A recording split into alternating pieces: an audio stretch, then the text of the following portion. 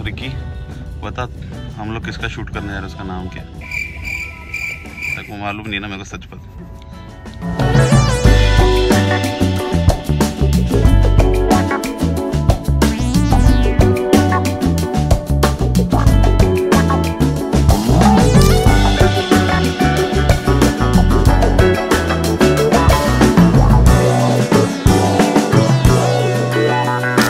कभी आएँगे एक्टर अपने आते ही होंगे शायद रास्ते में।